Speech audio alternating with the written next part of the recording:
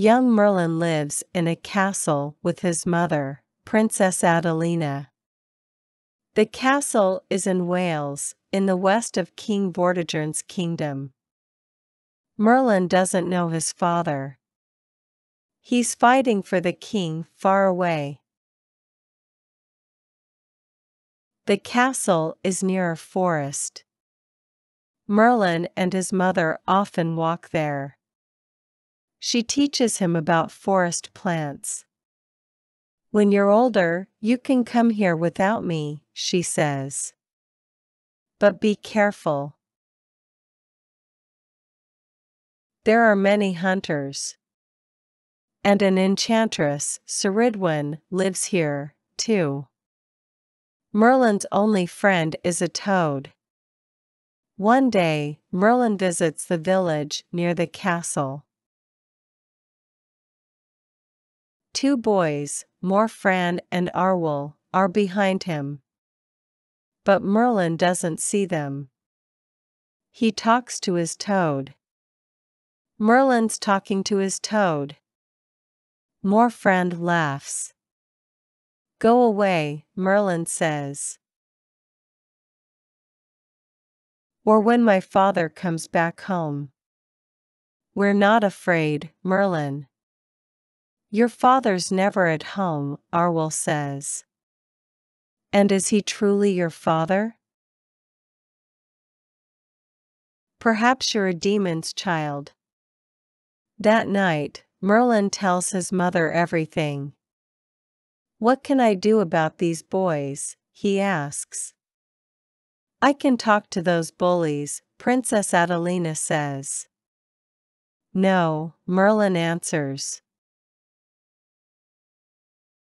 They call me a mother's boy without that. Then your father can speak to them after he comes home, she smiles. But be careful with Morfran. He's Ceridwen's son. Next week, Merlin goes to the village shop with his mother.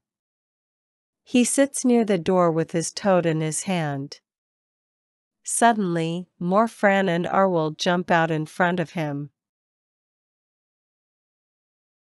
It's Merlin and his toad, they cry. The toad is afraid. It falls to the ground. Let's see your toad jump. Morfran laughs. He runs after it. When Merlin's mother arrives, the bullies leave. That night, Merlin sees his father in a dream. He is sitting under an oak tree after a fight with the king's enemies. I'm dying, Merlin's father tells him. Father, no. I need your help with some bullies. Merlin cries. When they bully you, walk away, his father says. Look for the biggest oak in the forest. There's something important near it. Next morning, Merlin tells his mother about the dream. Listen to your father, she says quietly. When Merlin meets the bullies again, they take his toad. Say goodbye to Mr. Toad. Morfran laughs. Merlin remembers his dream and walks into the forest. He lives there for days and eats forest plants. Then, one day, he finds the biggest oak in the forest. There's a little house near it.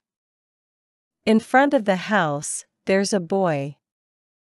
He's sitting near a cauldron. Who's that? Merlin thinks. Merlin watches the house from behind the oak tree. Morfran, a woman cries through the open window. Yes, mother, the boy says. The woman comes out of the house. Oh no. Merlin thinks. It's Morfran and his mother, the enchantress Ceridwen. Is the potion ready? Ceridwen asks. Soon, mother, Morfran answers. This potion can give magic powers to the first drinker of it, she cries. And that is you, my son. Morfran smiles.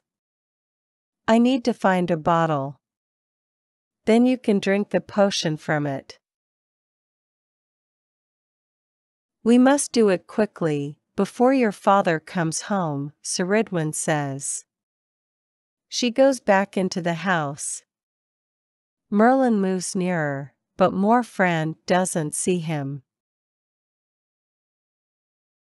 Just then, Morfran takes something out of a little bag. Oh, no. Merlin thinks. It's my toad. Ha. Ha. Morfran laughs. Here's one more thing for the potion. Stop. Merlin cries.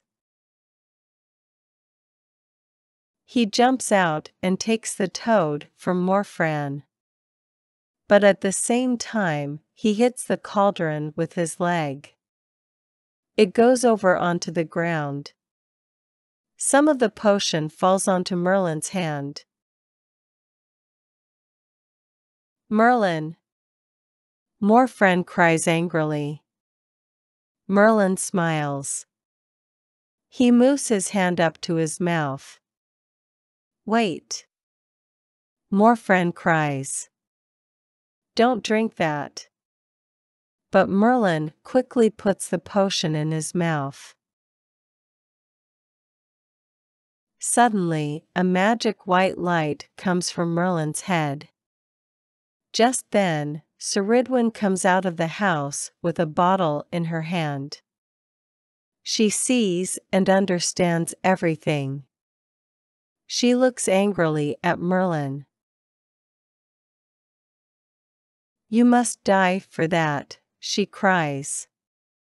Come here, boy. The enchantress cries. I need to run. Merlin thinks. In his head, he sees a hare. Then, suddenly, he is a hare. Aha! He thinks. So now I can change into different animals. Merlin runs away into the forest. I can easily run faster than Ceridwen now, he thinks. But when he looks behind him, he sees a big dog. It is running after him, and its angry mouth is open. Oh, no. He thinks. Ceridwen can change into different animals, too. Merlin moves quickly through the trees. But he can hear Ceridwen behind him. She is coming nearer. Just then, he arrives at a lake. I need to be a fish, he thinks. Suddenly, he's a long, dark fish. He moves fast through the cold water of the lake. I'm all right now, he thinks. But when he looks back, an otter is coming through the water behind him.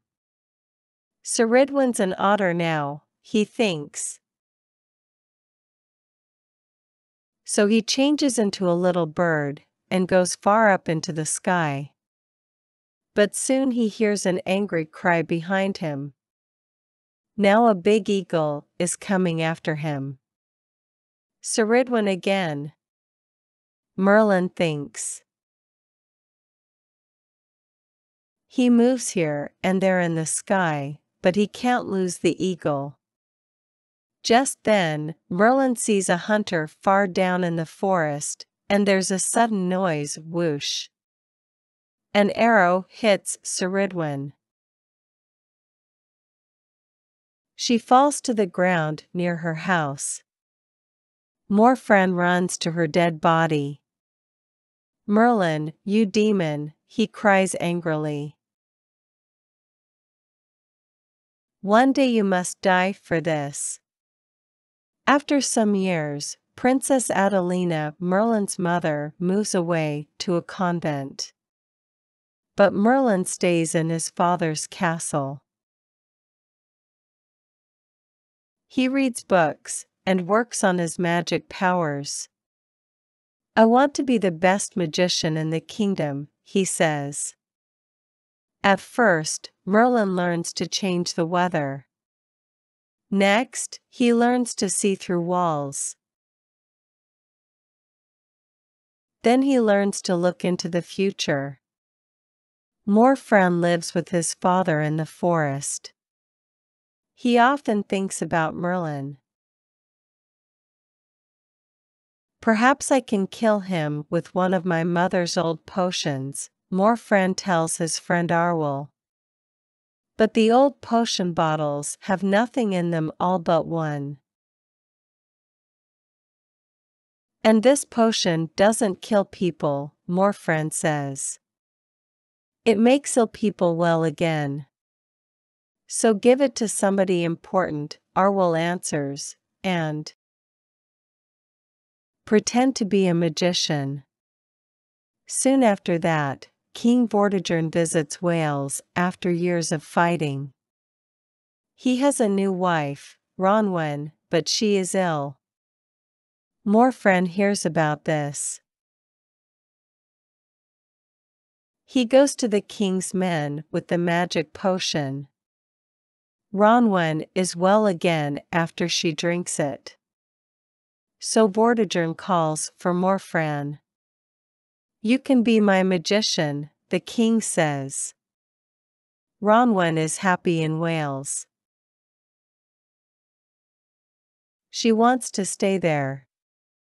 Let's make a castle on this hill, she tells Vortigern.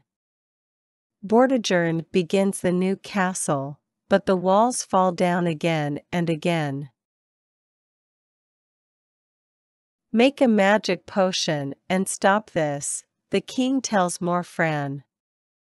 I need the blood of a boy without a father for that, Morfran answers. Now, the son of a demon lives near here. Give me some men, and I can bring him to you. Vortigern's men bring Merlin to the hill. Here's the demon's son. Morfran tells Vortigern. Kill him. I can make a potion with his blood and put it on the ground. Then you can finish your castle. Morfran's my enemy. And he's wrong. Merlin cries. There are two dragons under the hill. I can see them through the ground. Dragons? Vortigern asks. Yes, Merlin cries. A red dragon and a white dragon. When they fight, the walls fall down. The dragons hear Merlin's cries, and they come up angrily through the ground. They are fighting, and breathing fire and smoke. I can stop them. Morfran says. He pretends to do some magic, but he is not a true magician. The dragons breathe fire on Morfran and kill him. Merlin quickly changes the weather. Suddenly, there's a wall of rain in front of the dragons. They move up into the sky. When the rain goes, the dragons are far away. You're a true magician. Vortigern cries. He finishes his castle and calls for Merlin. Tell me about the future, the king says. Merlin closes his eyes. You, Vortigern, die without any children, he answers. Dark years of fighting come after that. Then I see a sword with magic light in it, a king with a wonderful castle, and his beautiful wife. I'm that king's magician. Be my magician. Vortigern cries. No, Merlin answers. I must work more on my magic. I must be ready when my king and my country need me. Then Merlin changes into a hare and runs away into the forest. Level 1 Beginner Basic vocabulary About 300 basic words. Congratulations on your dedication and good luck. Text read in American English. Level 1 Beginner. End of text by Easy English Abraão. Level 1 Beginner. Basic vocabulary. About 300 basic words. Congratulations on your dedication and good luck. Text read in American English. Level 1